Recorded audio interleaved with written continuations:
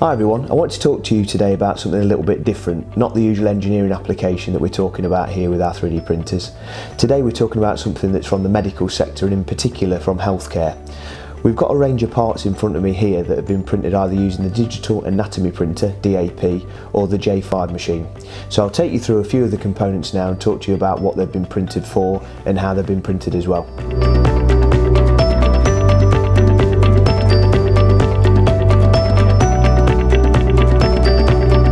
So here we've got a part that's been produced to replicate a full knee joint as you can see here and this has been produced on the DAP machine.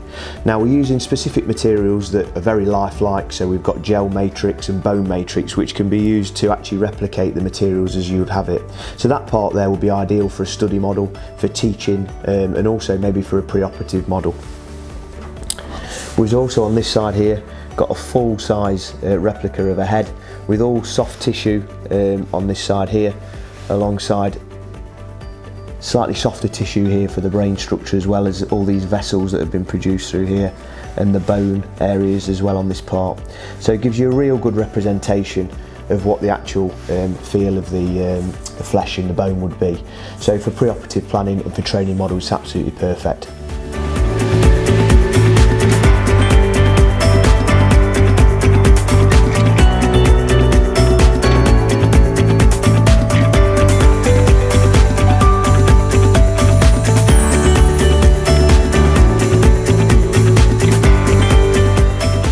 So in front of me here we've got a range of models which have been used for either preoperative planning, training aids or um, for study models.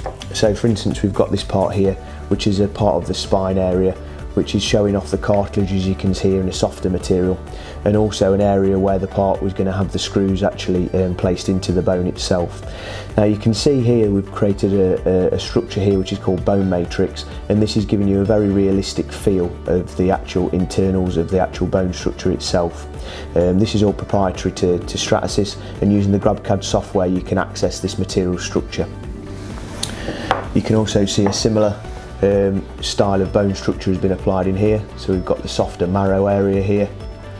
And also using the technology, it allows us to apply different materials as well to the surface. So we could actually add in there some instructions um, for, um, for the person who's actually taking a look at that. And um, some notes have been applied to that particular model as you can see.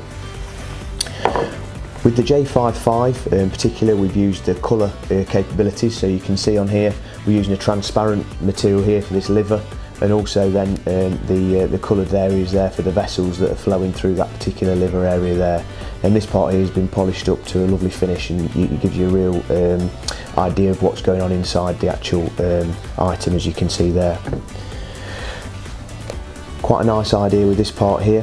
This is a heart that we've printed um, and you can see that we've got the flexible material on this side giving us a great sort of feel for how the actual real part would feel and on this side here we've actually used the colours to give a good indication of what the part would really look like in real life.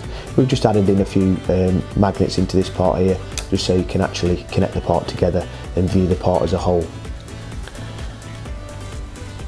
You can see here for, for dental applications um, we've got a clear indication of where the nerve is going through here in the jawline um, so for any dental parts you know, any dental uh, sorry, applications, this would be absolutely ideal for pre-operative planning for people to be able to, to think about where implants are going and, and things like that. So if you'd like to hear a bit more about the, the DAP machine, the digital anatomy printer, or the J5 MediJet, then please do get in touch. Use the details in this post to contact us.